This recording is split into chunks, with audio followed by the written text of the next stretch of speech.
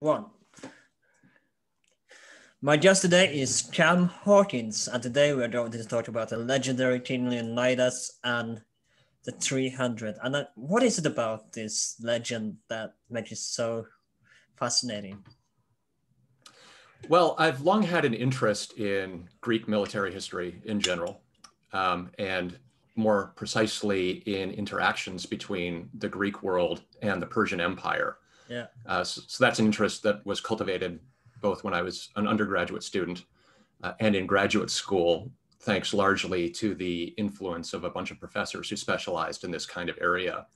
Uh, so interest in Sparta kind of grows out of that. Um, and I've published a little bit on the Spartan army, but more broadly, Greek military history is something that I hope to return to in a published form in the near future. And I, I think for those of us who don't not really familiar with Greek history, it was ancient Greece a country, or was it divided in smaller states?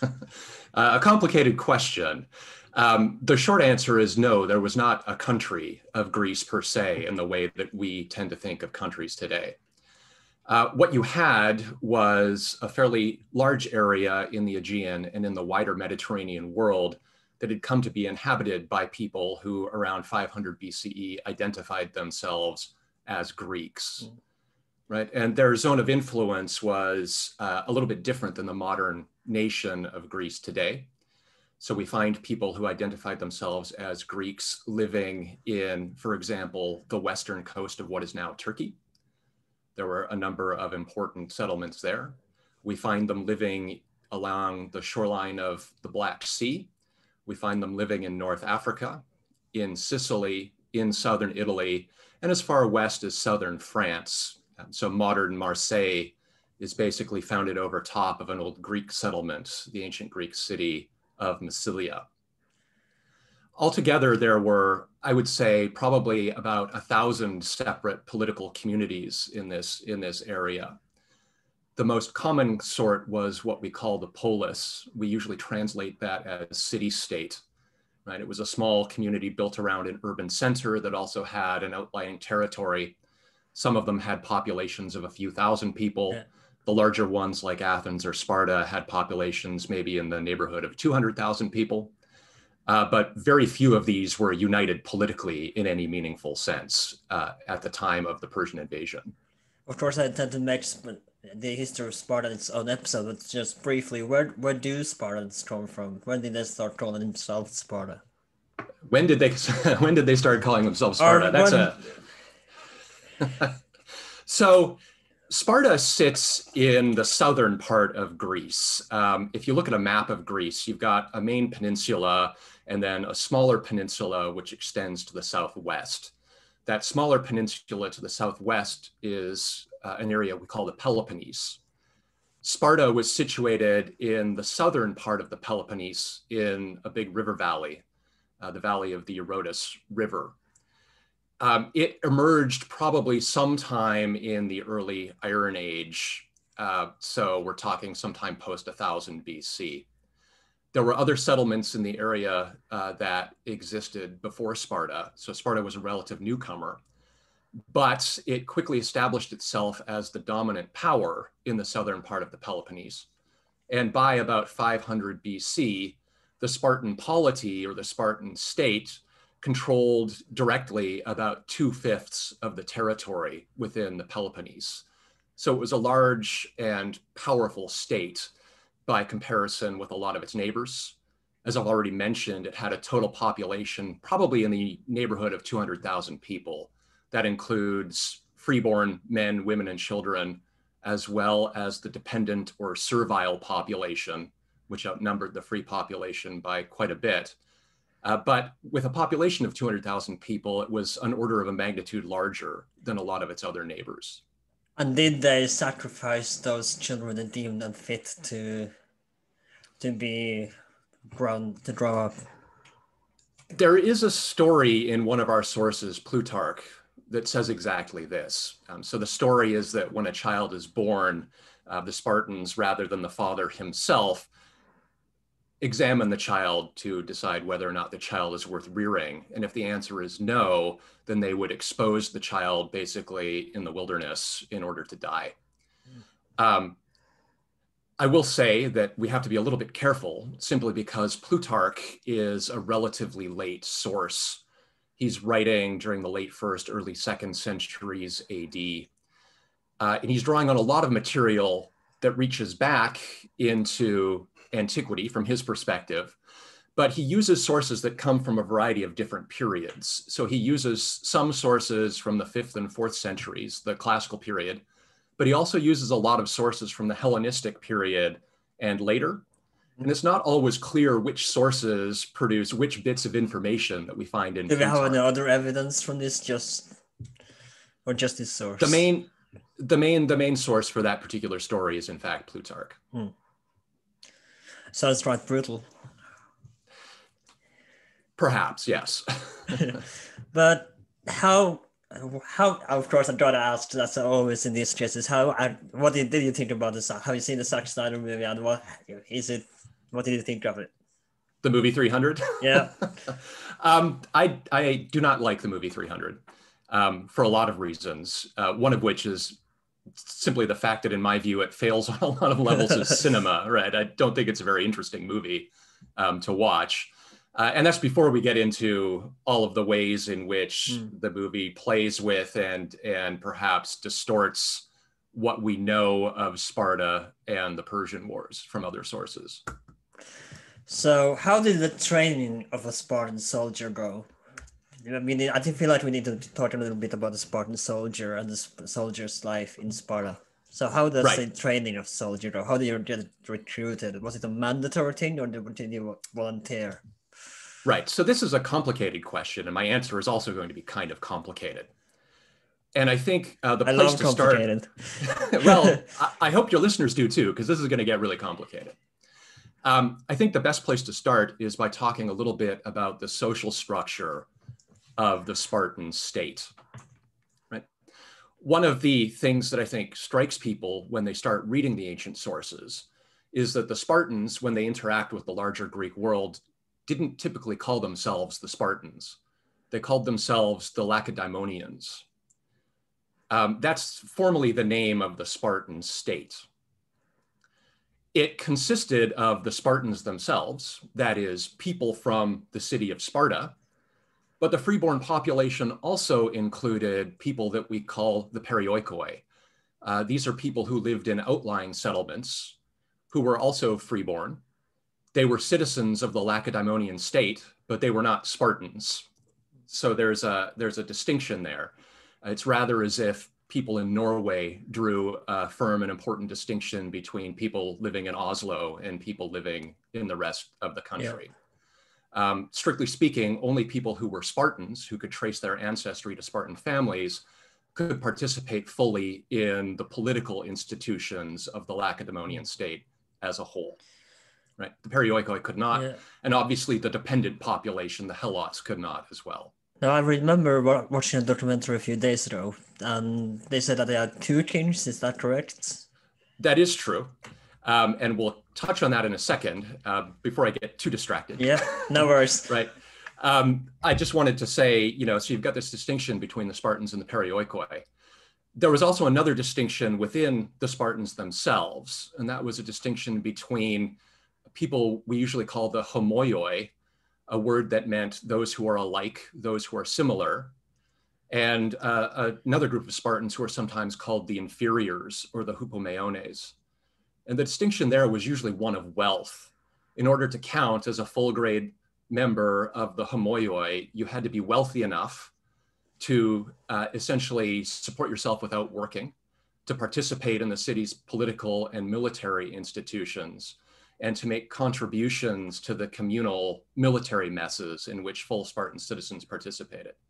So when we're talking about Spartan training, what we're really talking about is the sort of training in which the homoioi in particular participated. Right? So it's a system of training that was technically available to only a small minority of the population as a whole, and even only a small minority of the freeborn population at Sparta. So that's the sort of preliminary, right? Yeah. Um, as to what happened, that can be a bit challenging to sort out. And again, our fundamental problem here is one of sources. There are two principal sources that talk a little bit about the Spartan system. One is uh, a, a piece of literature written by Xenophon in the early fourth century BC, and the other is Plutarch, who again is writing centuries later. Both of them talk about how Spartan boys and young men were brought up, but there are certain differences between their presentation and that's probably because a lot of Plutarch's data refers to later periods of Spartan history. Uh, for that reason, I think that Xenophon is our best guide. And what he basically describes is a system in which Spartan boys and young men were divided into three groups based on age. Uh, so there's the first group, the young children. These are boys between the age of about seven and puberty. There's a middle group, um, those are adolescents between puberty and probably about 20. And then there's a third group, young men between 20 and 30.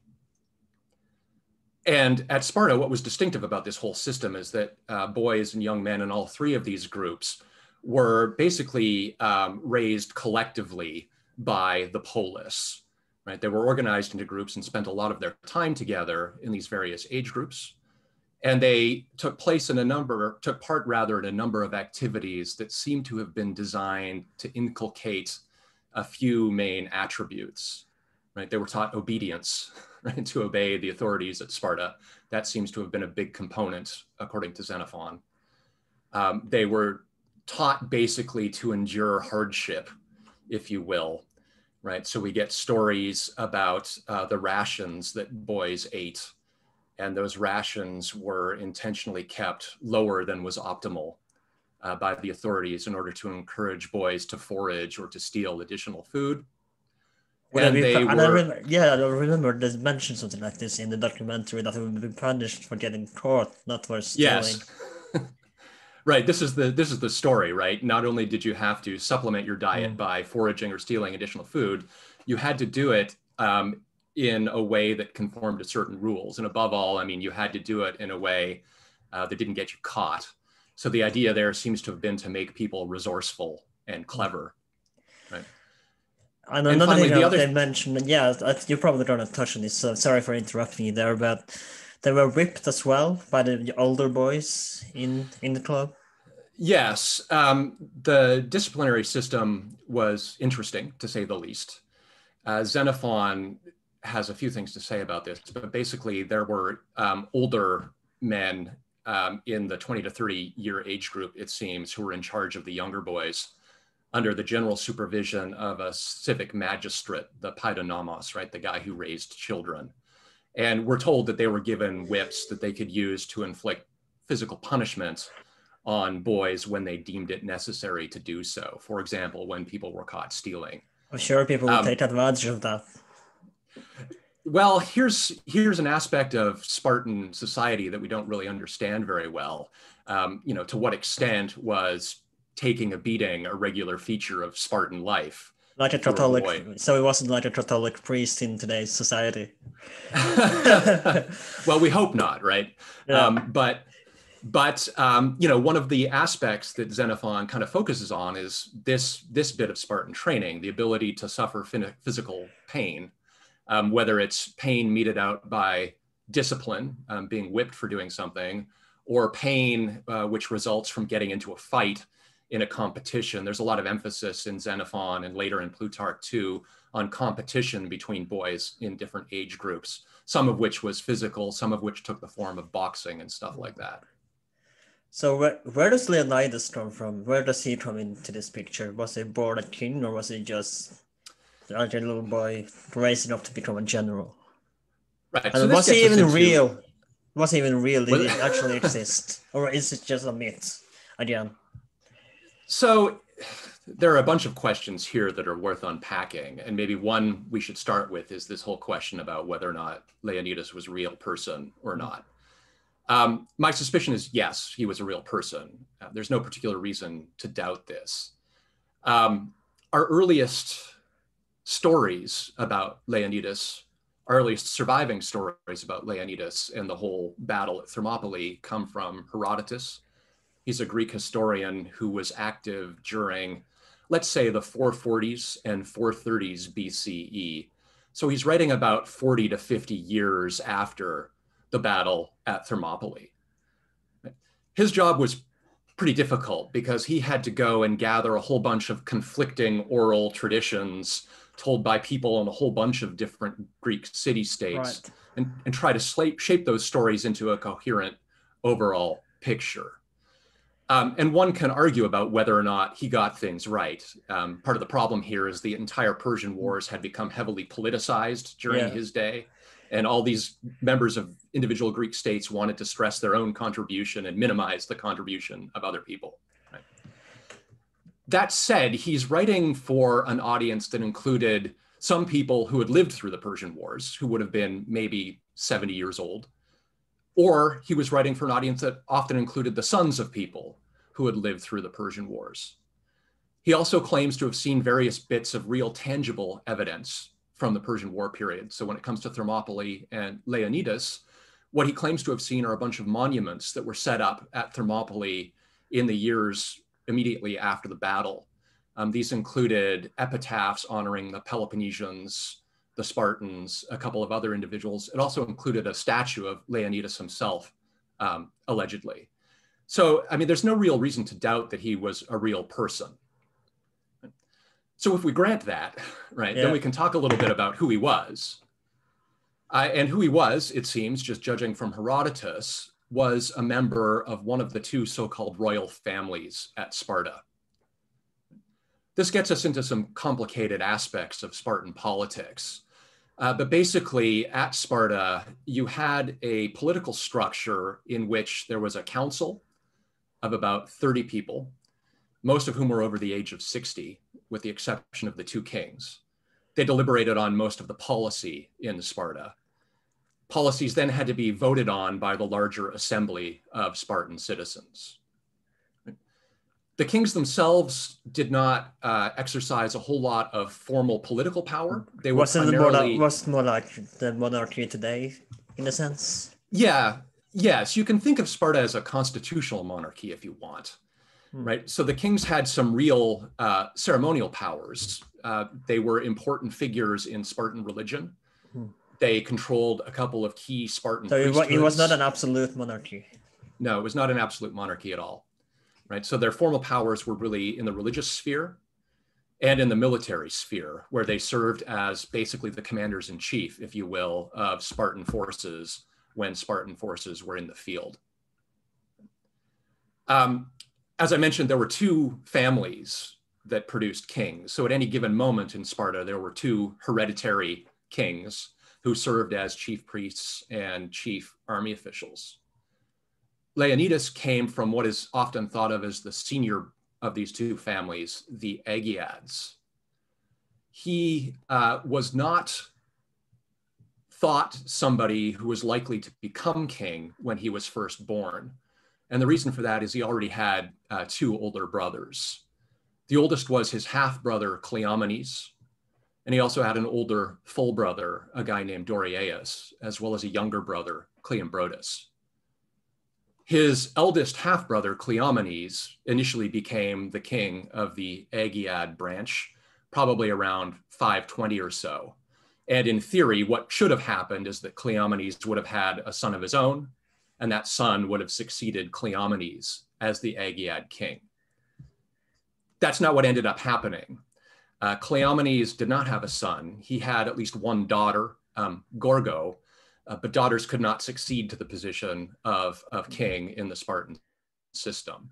So because Cleomenes didn't have a son, succession automatically went to his brothers. And now, by the time the next in line, he was the next in line by the time Cleomenes died. Uh, and that's the case because Dorieus, Leonidas's other older brother, had died at some point in Sicily uh, before the death of Cleomenes. Um, so Leonidas basically became king sometime after 490 uh, in a situation in which he had not originally expected to become king. Mm-hmm. Uh, and that's an interesting observation because it means that he possibly did go through the Spartan training program. Mm. Kings normally did not, actually. It's a, a, weird aspect of Spartan culture. But since Leonidas was not in the immediate line yeah. of succession when he was a boy, he probably actually did go through the training program. And what and I want to ask how how did he rise in the rank of the Spartan army? Did was it only the rich like the Romans could become generals, or did, did anyone could become gen, general in the Spartan army? That's a very complicated question. Um, without a doubt, the senior people in the Spartan military system were the two kings. They outranked everybody else, yeah. and they did so largely by virtue of their birth, right? But below them, there was a complicated hierarchy of officers, or at least there was in the later fifth and during the fourth centuries. Mm. One of the limitations of the evidence is that it's really hard for us to figure out what the Spartan army looked like yeah. during the Persian War period. But if we if we think a little bit about the later Spartan army, we can distinguish several ranks of officers. Uh, the Spartan army was organized into a number of large units, probably of about 600 soldiers, although that's disputed, as are pretty much all details about the Spartan yeah. army. Um, so there was an officer in charge of each of so these. So there was th- there was 300. Yes, um, they're not part of the regular structure, interestingly enough. So we'll come back to them. Um, but the regular structure did have you know, regular units starting from these large units of 600 or so and working down through a number of subunits to the lower level units, which had about 40 people in it. So you ended up with at least four tiers of officers. How people ended up with those positions is hard to say. I'm sure that birth had something to do with it, right? There were certain Spartans who were from more prestigious families, yeah. in spite of all these uh, these claims that the Spartan homoioi were equals. Uh, but also personal merit and success and accomplishment possibly had something to do with it as well. Hmm. Now, if we want to talk about the 300 for a yeah. second, um, we know from Herodotus and from later sources that there was a group at Sparta called the Hippeis. That's a word that means the horsemen. We often translate it as the knights. Right? They numbered 300. In spite of the fact that they were called the horsemen, they fought on foot. so it's an honorific title um, rather than a reflection of how they actually worked in combat. Um, according to Xenophon, they were selected from people in the 20 to 30 year old age category. Uh, it was an honor to be selected, and part of being selected involved proving that you deserved to be among the 300 by defending your position in the 300 against other Spartans. Was it more um, like a series of gladiator games, or was it just fighting to death, or was it just like good sport? What Xenophon says is that other Spartans would regularly challenge members of the 300, um, you know, question their right to be in the group and get into fights with them. Hmm. Beyond that, the details are a little bit murky, but the sense he conveys is that people who were part of the 300 could expect to get into boxing matches yeah. a lot with people who were who were envious of their position. Hmm. So now, how does um, yeah? No, carry on. I was just going to say it's it's sometimes thought that this group of knights, the 300 knights, are the 300 who accompanied Leonidas to Thermopylae, uh, and that's entirely yeah. possible. Uh, but what's weird is Herodotus doesn't actually say that, even though he is aware that the 300 mm. Knights existed as an institution. Yeah. So we there's a little bit assume. of uncertainty. Yes, right. But how did Leonidas come to, to be general of this group? So the answer to that question turns on the politics of the years 481 and 480 and the reactions of various Greek states to news that Xerxes and the Persians were launching a campaign against mainland Greece. Hmm. Um, essentially, the very short version of this story is that when it became obvious that Xerxes intended to march on Greece, a small number of Greek states began to discuss an alliance with which they could collectively defend their interests. The Spartans emerged as the leaders of this alliance, largely because it seems they already had a fairly important network of allies within southern Greece, within the Peloponnese. Um, on top of that, of course, they were also one of the largest Greek states and probably the most military dominant state in the Greek world. Yeah. So they were the natural hegemons or leaders of this emerging alliance. What that meant is that to the extent that League forces were going to take the field, Spartan officers would be in command of those forces. In 480, the Allies deliberated about how best to resist Xerxes and the Persians. And given their expectation that they would be heavily outnumbered, both on land and at sea, a lot of those deliberations focused on identifying places that could serve as bottlenecks, right, where they a smaller number of soldiers or ships could effectively block the advance of larger. Did they, did they intend to go for guerrilla warfare or? No, guerrilla warfare isn't quite what they had in mind. What they really had in mind was stopping up choke points. Um, so, for example, they initially seemed to have hoped to send forces to the Tempe River Gorge. Uh, that's a, a, river gorge that separates Macedonia in the north from Thessaly in the south. And they thought that a force of about 10,000 soldiers, heavily armed soldiers, plus support personnel probably, could effectively block up that pass. Um, it turns out they were wrong. Uh, what Herodotus says is that they got to Tempe and discovered that there were too many ways to get around that position. Um, so they abandoned that idea. And their next thought was to defend the pass at Thermopylae, which again uh, offers uh, a fairly narrow and confined space in which a small group could defend against a larger army. It's also convenient because a small fleet could potentially keep a larger naval force out of the straits that lead from the Gulf of Magnesia into the bay around Thermopylae itself. So the Greek allies decide to defend this position. And again, uh, because the Spartans are kind of in charge, uh, it was only natural that Spartan officers would be in command of the forces.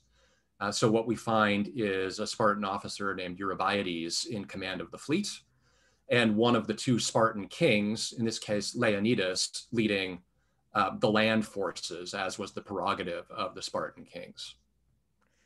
So that's a, an well, what about the actual battle itself? When did the 300 meet Persia and how does it unfold? Right. Um, so here we have to contend once again with the nature of our sources, right? Herodotus, our earliest source, is writing about 40 years later, maybe. Um, and as I mentioned earlier, he already inherited a number of conflicting traditions about the battle that he had to try to sort out. We have some other traditions that survive in later sources as well. Uh, the main surviving alternative is a story that pops up in a late author called Diodorus. Uh, he's writing around the time of Augustus, the Emperor Augustus, so much yeah. later. Although the story he tells can arguably be traced back to the early fourth century uh, and perhaps derives from a, a, Greek historian of the late classical period named Ephorus. Um, there's a little bit of tension here that we can maybe explore as we go along. Yeah. Uh, but I'll say for the for the moment that most people prefer the version that we find in Herodotus. And what Herodotus tells us is that the Greek allies descent, decided to send a combined land army and naval expedition to defend the pass at Thermopylae and the straits nearby off the northern coast of the island of Euboea at a place called Artemision. Um, so what they do is they put together a combined allied fleet of about 271 warships, according to Herodotus. And they put together a land army anchored around 300 Spartan soldiers under Leonidas's command. There were more people that went on this expedition, right? And Herodotus kind of gives you the preliminary breakdown. And according to his numbers, uh, the overall force consisted of about 3,000 heavily armed Greek soldiers from the Peloponnese, including the 300 Spartans, as well as a couple of thousand from central Greece, um, chiefly from Thebes and Thespiae, two cities in Boeotia, uh, but also from areas a little bit further north around Thermopylae itself. So altogether, Leonidas and his 300 Spartans anchored an army of about six to 7,000 heavily armed Greek soldiers who were probably complemented by more lightly armed troops, some of whom were slaves there in personal attendance upon their masters. And so one of the things that becomes really clear is that the Spartans had a bunch of helots with them. Helots were members of the uh, unfree population hmm. of the Lacedaemonian or Spartan state. Um, Herodotus claims that a bunch of them actually get killed in the fighting, so it's possible that they played some role in the battle, although that's difficult to define. And this seems to be what differs Sparta from next Roman army, because if a slave, I, I really talked about this in the Roman army episode, where if a slave came, you could be killed, and the person who brought the slave into the army could get killed for it. So that's right. to differ the Spartan army from the Roman army. Yes, um, I should say that there are some caveats here.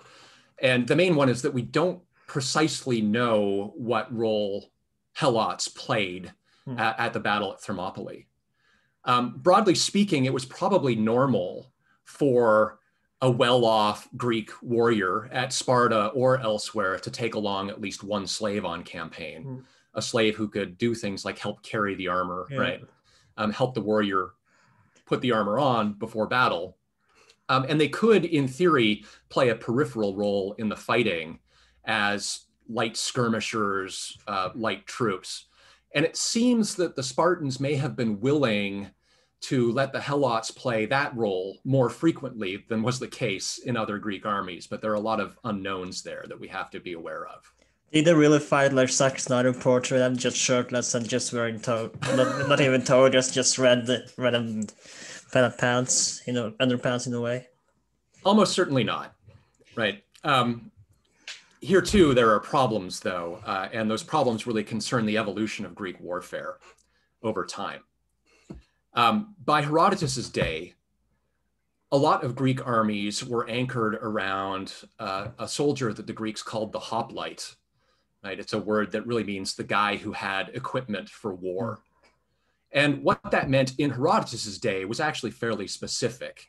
It was somebody who was armed primarily with a long thrusting spear, uh, probably about eight feet in length, and who carried a broad round shield. You wore the shield by passing your forearm through a central armband yeah. and by gripping a secondary grip on the outer rim. In addition to that, most hoplites usually wore some kind of body armor, uh, the old fashioned style by Herodotus' day was a bronze breastplate and backplate, along with a helmet and greaves. Yeah. Uh, a more contemporary style in Herodotus' day was uh, a composite form of armor made primarily out of linen that had been layers of linen that had been glued together, sometimes reinforced with leather or metal plates, perhaps a light helmet, but the greaves seem to have gone away. But that shield still remained central to hoplite armor. Was armor expensive in ancient Sparta, or did they have did they have to pay for it themselves, or was it equipped once you were for you? Generally speaking, armor was fairly expensive. And broadly speaking, in the Greek world as a whole, in order to fight as a hoplite, you had to be relatively wealthy, right? Because in most Greek states, you provided your own equipment hmm. and your own your own armor, your own weapons. So when we're talking about hoplite armies, what we're really talking about are armies of people who belong, broadly speaking, to the upper middle class and above, the upper middle class through the yeah. aristocrats. At Sparta during the early fifth century, that is probably true as well. But um, at Sparta during the early fifth century, there was a fairly large group of homoioi, the group of homoioi in the early fifth century, people who qualified as full Spartan citizens who were wealthy enough to do so, these people existed largely because of the way the Spartan state developed in the sixth century. Um, it was a, a state that had benefited a lot from conquest of neighboring Greek states. And in particular, the Spartans had conquered a region to the west of Sparta itself, a region called Messenia, where a number of communities had been overwhelmed and their inhabitants had been reduced to some kind of serfdom or slavery. Mm-hmm. And the Spartans seem to have divided up the lands of Messenia amongst themselves, as well as the newly conquered Helots of Messenia. And as a result, around about 500 BCE, there was a large group of Spartan citizens at Sparta itself who were wealthy enough um, to equip themselves as hoplites and to participate in the developing civic institutions. Mm. Uh, but you know, this is a long answer to your short question. No worries. Pardon, I love long answers. I love long well, answers. Well, I'm, so. I'm, glad you do. I don't know uh, about again. I don't know well. about like you said. I don't know about my listeners, but I love and get this long story. But uh, yeah, about the battles as we were talking about earlier. I, I think I just started. We did started off topic, but the battle itself was it they alone or did they have how did it come out to be a, the legendary 300? Did they fight alongside other 300 legions or did they right. fight solo? So, so as I mentioned, the 300 Spartans with Leonidas were the core element of a larger force of somewhere between six and 7,000 heavily hmm. armed Greek hoplites, um, plus perhaps some more lightly armed troops, including a bunch of helots they marched north to Thermopylae while the, the complementary fleet took up a station at Artemision to prevent the Persian fleet from sailing in to the Gulf and from landing troops near Thermopylae itself. Leonidas, his 300 Spartans, and the rest of this army of six to 7,000 people took up a position at Thermopylae. Thermopylae is an important artery of communication between central and southern Greece it's not the only artery of communication. There's another main road that also uh, linked central and southern Greece. But the road through Thermopylae is important because it was the only coastal route. So if an invading force, like the force of Xerxes, wanted to maintain communication between its land forces and its fleet, it basically needed to control the road that ran through the Thermopylae Pass. So that made it uh, a perfect spot for a force like the, the Greek army commanded by Leonidas to try to block the southward advance of Xerxes and his soldiers. Yeah. The nice thing about Thermopylae is that the ground there is pretty confined. Um, what you had essentially was a pass defined by a very narrow entrance point on the west and a very narrow exit point on the east. Um, Herodotus says that it was uh, the width of basically a cart track at the two entry points. In the middle, things broaden out a little bit, but there's a, an area that we usually call the middle gate, where the road ascends a relatively steep hill, or did in antiquity anyway, and where an, an old defensive wall had been built long before Xerxes' invasion of Greece. I want to ask, have you, been, have you been to the location yourself where the supposed battle took place? Sadly, no. I've been to a lot of places in Greece, but I haven't made it to Thermopylae yet. Um, so my knowledge of the topography depends on published yeah. accounts. Oh, yeah. Um, I should state, just because this might become relevant, that if you do go to Thermopylae these days, the topography looks a lot different than it did in antiquity. And that's because there's been a lot of silt deposit as a result of a couple of main rivers that flow uh, into the Gulf there. So the shoreline has extended out quite a bit. But also Thermopylae was famous in antiquity and continues to be famous for some mineral springs, mineral hot springs. And those have deposited a bunch of minerals in the highlands as well. So the whole topography has changed a lot. And it can be kind of difficult to draw connections between what we see on the ground hmm. now and what Herodotus describes. Sort of like going to the World War One battlefield where the trench is supposed to be. Right.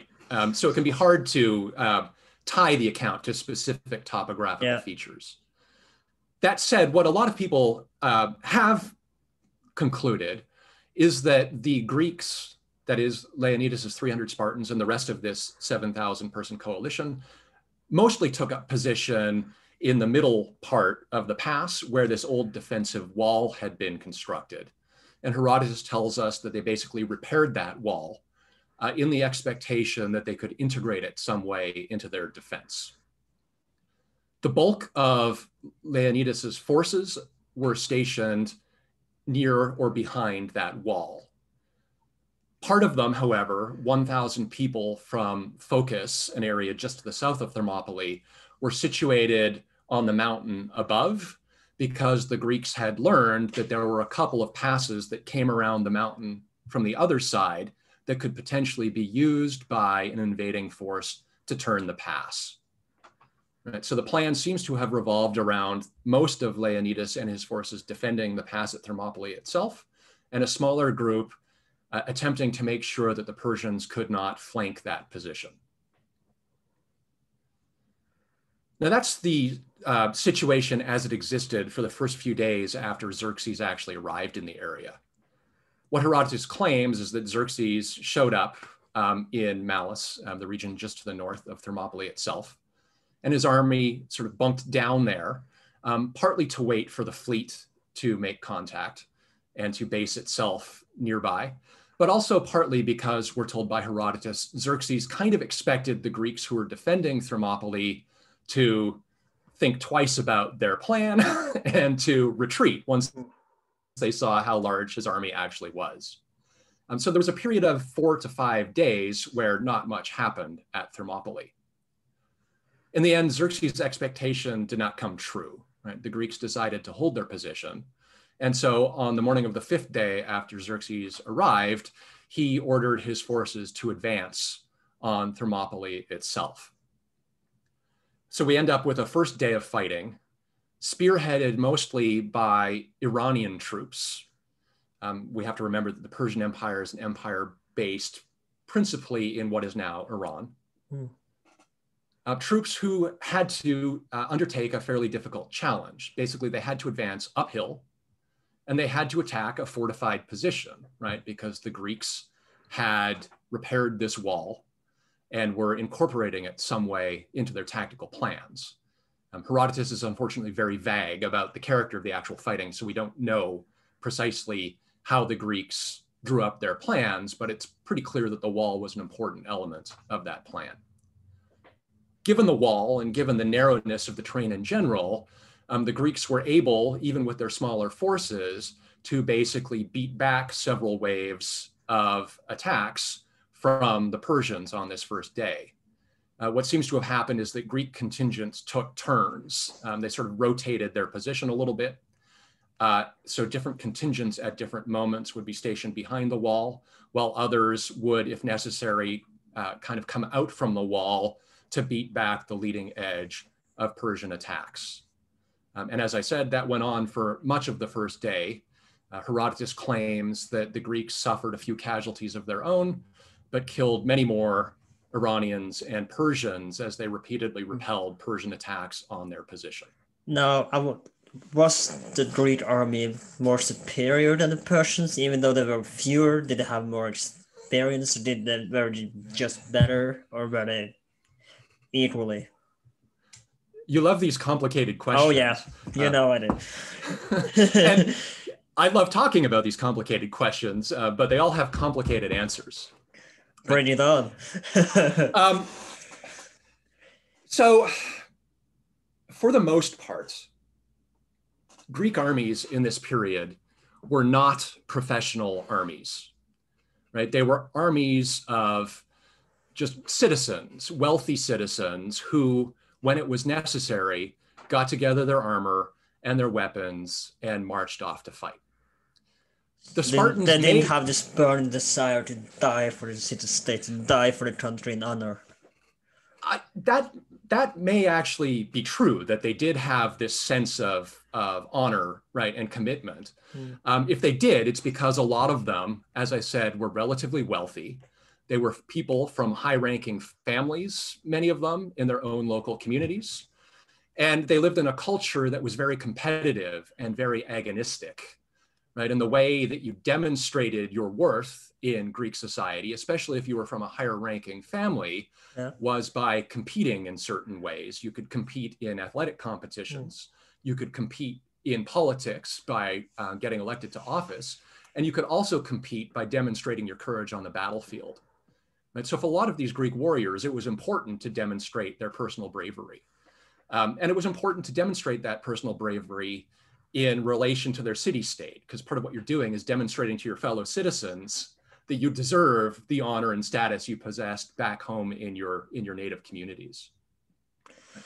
And how long time does this battle take place? You mentioned five days of preparation and then a few days of war. So how long time does does the battle span? And last. The fighting at Thermopylae, the fighting at Thermopylae lasted three days. Um, you know, it was complicated again by the fact that the Persians were essentially assaulting a fortified position mm. that could be readily defended by a, a smaller army. Right.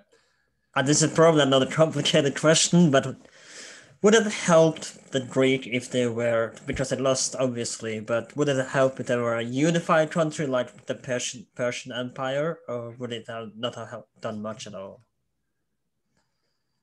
That another one of these complicated questions. I warned uh, you. It's a, it's, it's a question actually. It's interesting because it it raises a tension between the way Herodotus describes what's going on, um, and the way modern historians tend to tend to think about what happened, right?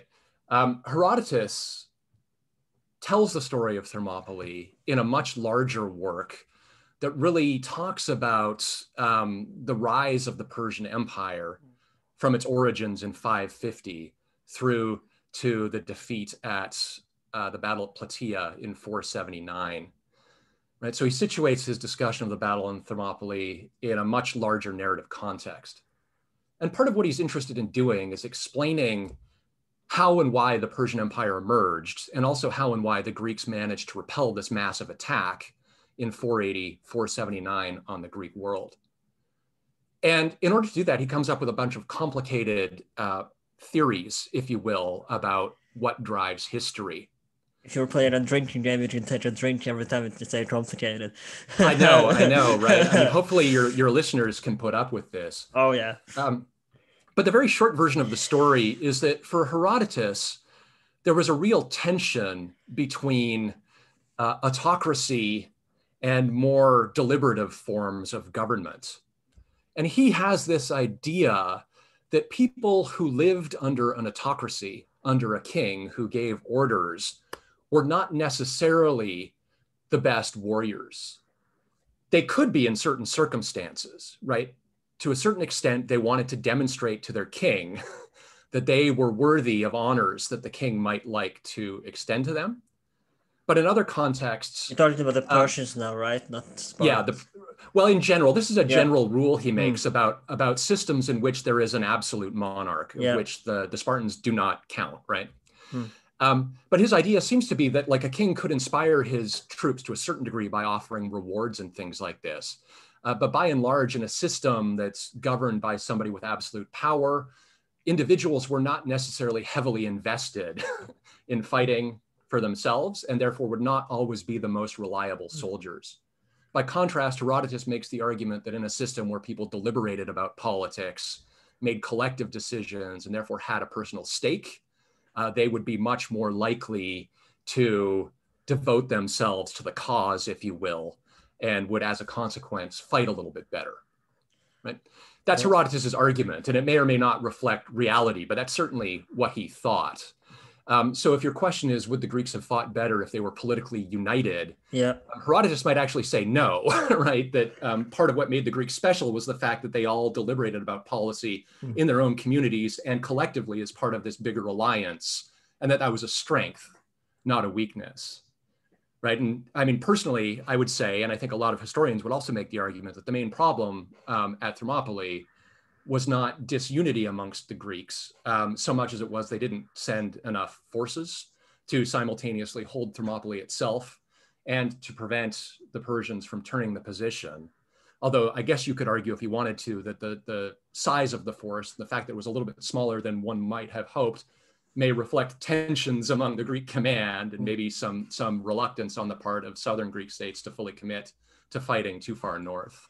And again, you mentioned that there is uh, there, there wasn't just the 300 and the right. United, right? But so why did they stand out from the other 300 units that fight? So part part of this is just the mythology of Thermopylae as it develops in the period post the Persian Wars. Um, but part of it also turns on what Leonidas and the Spartans mm. actually did at Thermopylae. I've mentioned that this is a three day battle during yeah. which the Greeks are primarily trying to defend this wall at the pass at Thermopylae itself. Day one and day two, according to Herodotus, were pretty similar. The Persians would launch a wave of attacks against the Greek position, and the yeah. Greek contingents defending Thermopylae would protect the wall and sort of take turns coming out to fight just beyond the wall if it was necessary to push back a Persian attack. Hmm. So the first two days is very much a collective effort on the part of the Greeks who are defending the pass. you asked a little bit earlier if the Greeks were superior, right, to the mm. Persians. Yeah. Um, I've sort of alluded to Herodotus's take was that there were certain aspects of Greek culture that made them fight better in certain circumstances than the Persians. Uh, but in other respects, it's kind of a difficult question to answer because, believe it or not, there are a lot of arguments about how it was that Greeks actually fought during the Persian War period. Um, we know from later later periods that in Herodotus's own day, hoplites, when they fought a battle, would form up in formations that later come to be called the phalanx. Um, these are hmm. fairly deep formations, six, eight, 12 people deep, several hundred people wide. And they fought basically as a coherent block. Do you um, have more sources on how they fought in the Peloponnesian War? Or the, yes, is it yes. kind of similar warfare to the Peloponnesian War? This is the big question. Um, and there are multiple schools of thought on this. There's sort of a classical or orthodox school of thought, which says that the, the phalanx that characterizes the Peloponnesian War period was developed early in Greek history. And so that the Greeks at Thermopylae would have been people who used who were used to fighting in a phalanx. Uh, but a lot of other historians argue that actually the phalanx was continuing to develop right through this period, right? And that we don't get the classical phalanx we know from the Peloponnesian War until sometime after uh, the Persian Wars themselves are over. Uh, so for that reason alone, it's sort of difficult to sort out whether or not uh, one side or another had a tactical edge. So we can't will, compare. We can't compare the Peloponnesian War to this. I forget what is the name. Forgive me, I forget the name of the battle, but it, we can't compare the two battles together. It can be. It can be challenging depending on whether or not you believe that mm. the phalanx pre-exists the Persian Wars yeah. or not. And opinions remain mixed on this, and this is something that historians are probably going to continue to argue about for the foreseeable future. Yeah. Um, I will stress that, you know, again, the Persians were trying to do something very, very difficult. They were trying to attack a fortified position where the ground did not allow them to take advantage of their numbers, to take advantage of cavalry tactics, which they prided themselves on, um, to take advantage of their, their skill as archers. And instead, basically, they had to launch these repeated assaults up a hill against that hmm. fortified position against defenders who had the advantage of terrain. Um, so the fact that the fighting on the first couple of days did not go uh, in favor of the Persians doesn't say much about whether or not the Persians were worse than the Greeks when it came to fighting. It simply reflects the challenges of the position and the challenges of the task yeah. that Xerxes was imposing on his soldiers um, you know, what we can say is that both sides fought pretty hard. And although uh, did the Persians have a certain respect for the for Greek? I mean, the, the sense Herodotus conveys is that the Persians were surprised by the fact that they were unable to dislodge the Greeks from their position. Hmm. Um, and in particular, he focuses on one particular group of Persians, the so called immortals, who were uh, I think, the core contingent of Xerxes's army. Um, they were, as far as we can tell anyway, ethnic Persians. They were probably Persians from relatively high ranking families, and they formed kind of the semi professional core of Xerxes' forces. And what we're told is that on the first day, they were one of the groups who launched one of these wave attacks against the Greeks. And like other soldiers who were sent in wave attacks against the Greeks, they were beaten back, even though Xerxes uh, and the commander of the Immortals, Hydarnes, uh, had full confidence that they would make short work of the Greek defenders. Yeah. Um, anyway, so two days were like this, right? Two days, the Greeks managed to hold off uh, Persian yeah. attacks. Now, if you're the Persians, of course, you realize very early on that the Greeks are not going to be dislodged easy, easily. Uh, and you realize very early on that the terrain is difficult, right? And that you're yeah. asking your soldiers to do something very challenging. So if you are, are aware commander, after day two or day three that they're gonna lose this, did they realize that we lost, that we don't have stand a chance against Persia? Right. Well, this is uh, ultimately what happens, right? The evening of day two, um, the Persians finally discover that they can get troops around behind the Greek position. Right? Basically, Thermopylae is flanked on one side by a big mountain. Uh, in modern Greek, it's called Kallidromo. Uh, in antiquity, it seems to have been called Anopaia. And on the other side, it's flanked by the sea in antiquity and marshes. So what you have to do is basically get soldiers around the Greek position somehow. They can't do it by sea because the Greek fleet is preventing the Persian fleet from entering the Gulf. So they have to look for an overland route. Those overland routes did exist. And what we're told is that with the help of some locals who lived in Malis, uh, just north of Thermopylae, the Persians discovered those routes or were informed hmm. about those routes late on the second day of was fighting. this Greek spies or was this for the Persians? So it's important to restate here uh, an observation we've already made. Greece was not politically unified yeah. by any stretch of the imagination. Uh, moreover, there was a long history of interaction between Greek states and the Persian Empire.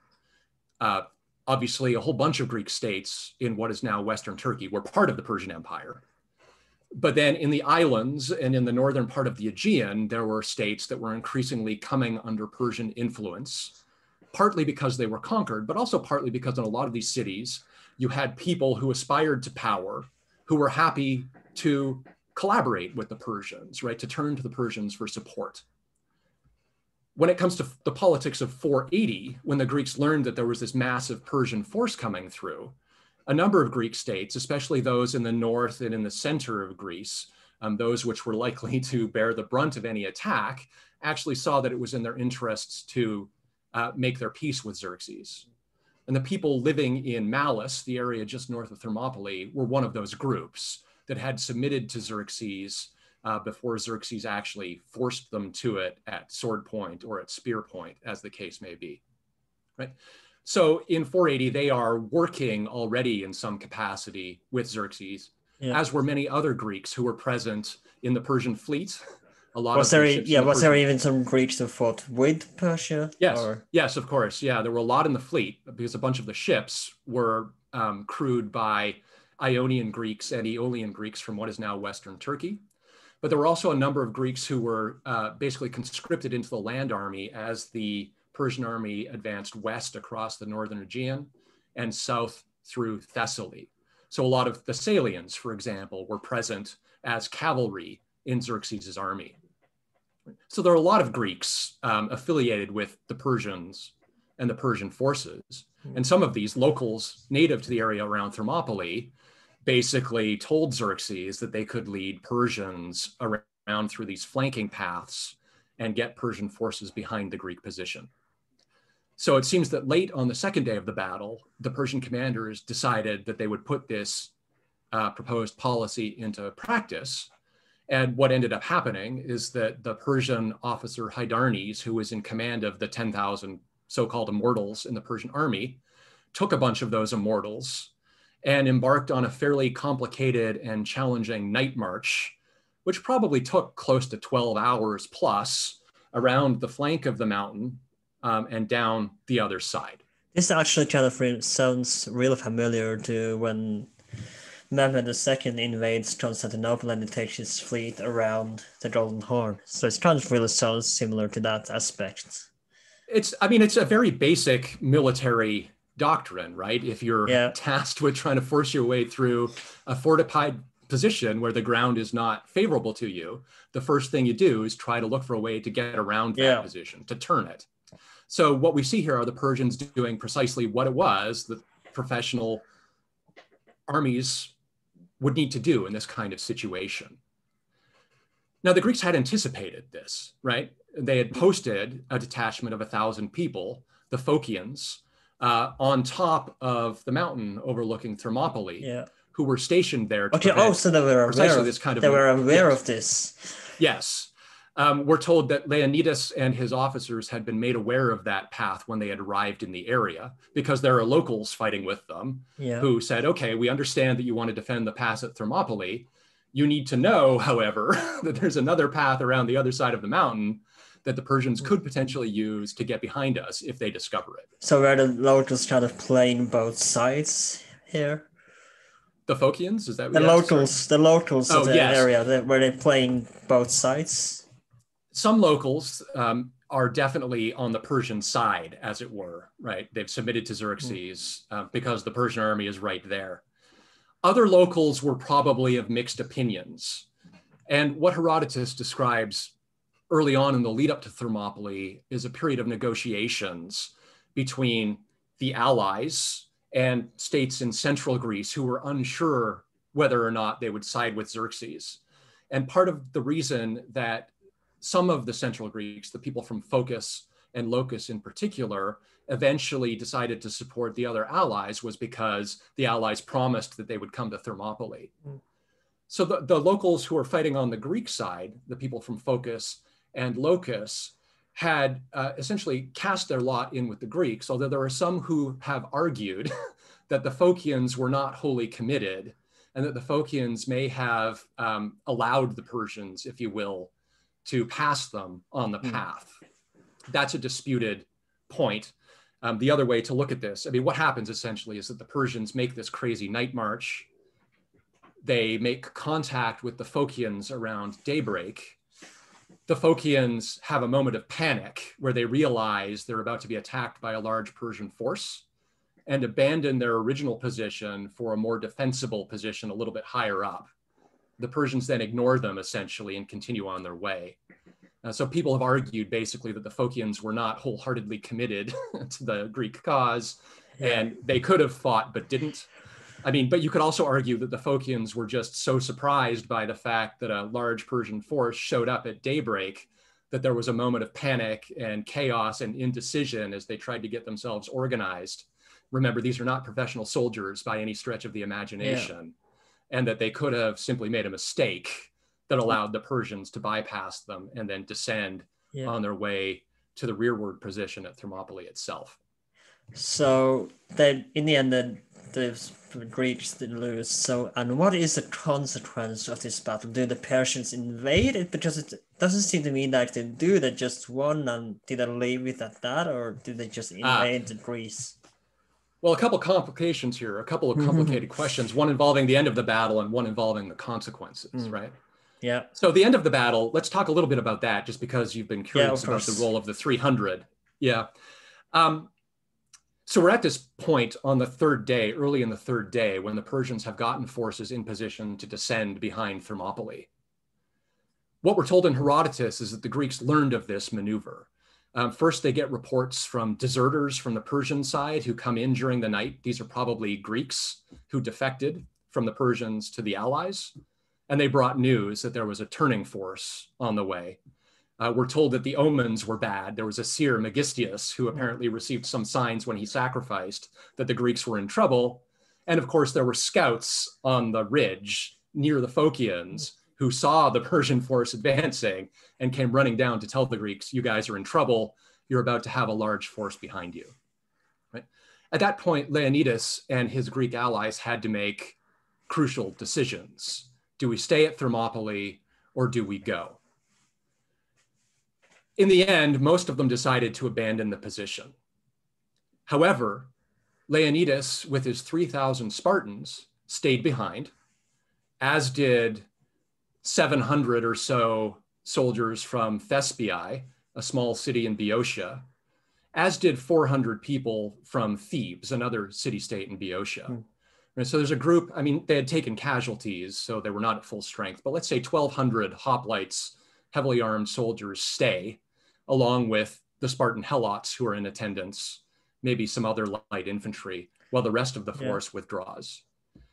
Um, why they stayed is a question that preoccupied Herodotus, uh, and he has a lot to say about it. Uh, he focuses mostly on the glory Leonidas thought that he would win.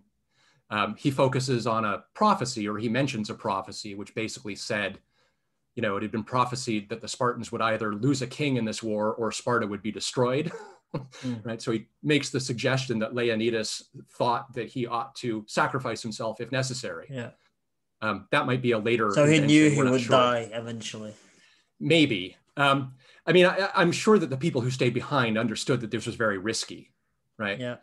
But I think a lot of historians would argue that they also understood that it was important for them to stay behind and fight a rearguard action to allow the larger group of this allied army to withdraw. If the whole army had just abandoned its position, they would have been vulnerable to pursuit. Since Were they hoping that there would be a, be a huge, huge part of history as well? Was there hope that that would be mentioned in history? Well, this is what this is what Herodotus says, right? That Leonidas hoped to establish, you know, uh, a reputation uh, for doing this, and you know that may well have been on their minds, as might some of the strategic and tactical uh, necessities of fighting a rearguard action. Yeah. Uh, but anyway, so what ends up happening is you have this smaller group of about 1,200 people plus helots and other attendants who decide to stay behind and delay the Persians as long as possible.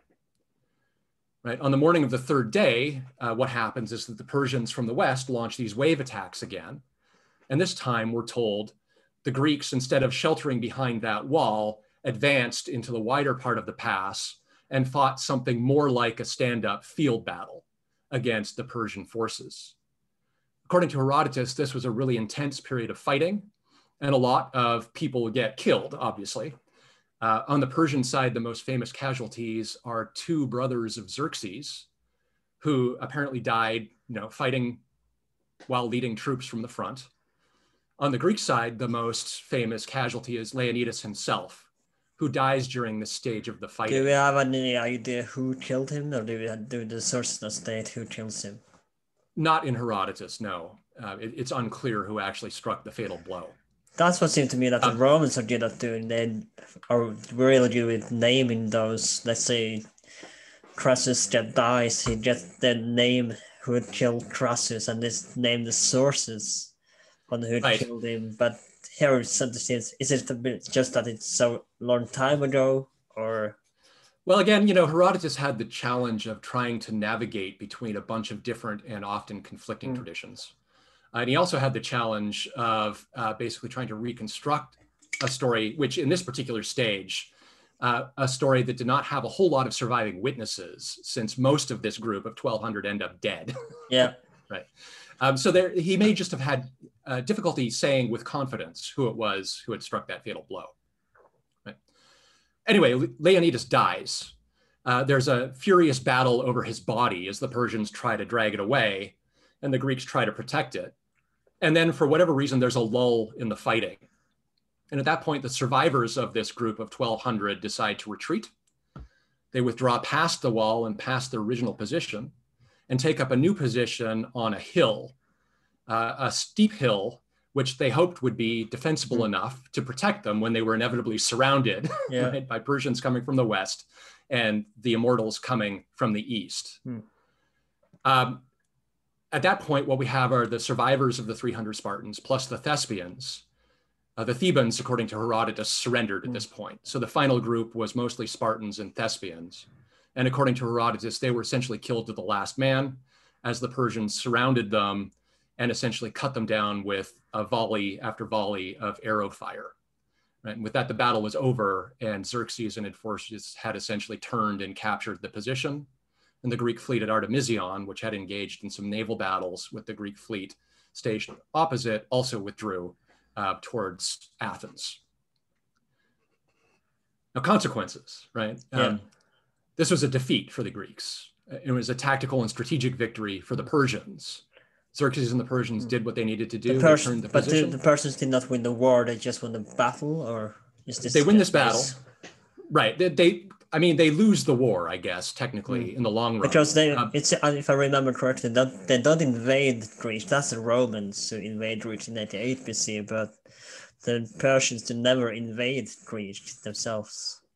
Well, in the wake of the Battle of Thermopylae, they actually do push southward, mm. um, further into Greece. Uh, they made it as far as Athens by September 480. Mm. And the Persian forces actually attacked, captured, and sacked Athens itself. Mm. The Athenians knew that they couldn't really defend Athenian territory against the Persian onslaught, so they had mostly evacuated as many people as they could uh, to nearby islands and to Troezen in the northern Peloponnese. So the city was largely empty, although there was a diehard contingent of Athenians who thought that they could defend the Acropolis, uh, incorrectly, as it turned out, because the Persians captured the Acropolis as well. So by 480 BCE, uh, Xerxes had accomplished one of his main goals, which was to take Athens and punish the Athenians. And I think in September, he was rightly confident that the campaign was going as he wanted it to, mm-hmm. right? He defeated the Greeks at Thermopylae, including the Spartans. He'd killed the Spartan king and he captured and sacked Athens. Unfortunately for Xerxes, he then made a questionable decision to fight a naval battle against the Athenian fleet, which had stationed itself on the island of Salamis in a narrow channel between Salamis and the mainland of Athenian territory, where the Persians would be unable to fully exploit their numerical advantage at sea. Um, historians will argue about whether or not Xerxes should have done this for a long time. Right? There's a, very, uh, I think, sensible school of thought which argues that if Xerxes had just held out for a little bit longer and not moved from Athens, the Greek fleet eventually would have broken up yeah. as allies argued with one another, uh, and that he could have then pushed westward into the Peloponnese. But because he decided to initiate an attack, the Greeks held together. And because the Persians were again attacking in unfavorable circumstances, basically by sailing into this fairly constricted channel where they couldn't exploit their numbers, they were defeated. And that proved to be um, a pretty serious setback for the Persians because once they no longer had superiority at sea, it became much more difficult for them to keep their army supplied by sea. Right? Ancient armies, especially big armies like the Persian army, eat a lot. Yeah. And it's hard to keep them supplied. You can't the fish. There's not. There's, you can't fish to everyone. Right. Exactly.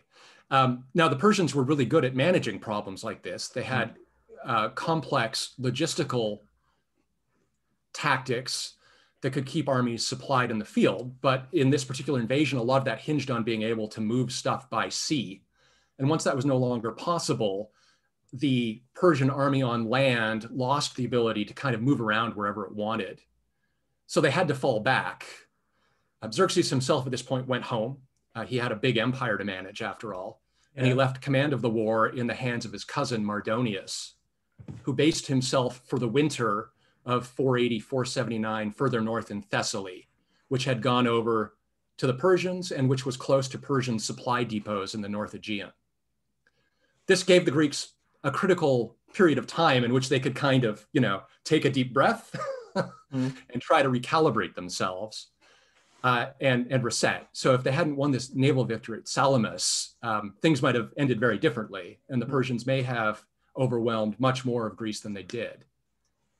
As it turned out, uh, what happened next is that in 479, in the spring and summer, Mardonius moved south again.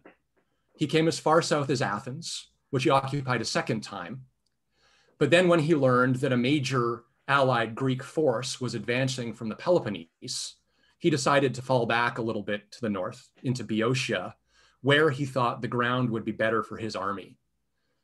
His army had a lot of cavalry in it, so he was looking for a place where there was some wide open ground where the so cavalry the, could exploit so it, so in the end, they never really invaded Greece completely never completely. I mean, again, you know, they invaded a big chunk of it. Mm. it's only the Peloponnese that kind of. But they didn't unscathed. keep it for very long. Right, they keep it for two seasons, or at least mm. the mainland for two seasons. Mm. They're eventually defeated in battle at 479 at Plataea in Boeotia uh, by this large Greek army uh, in a battle that unfolds again over several days.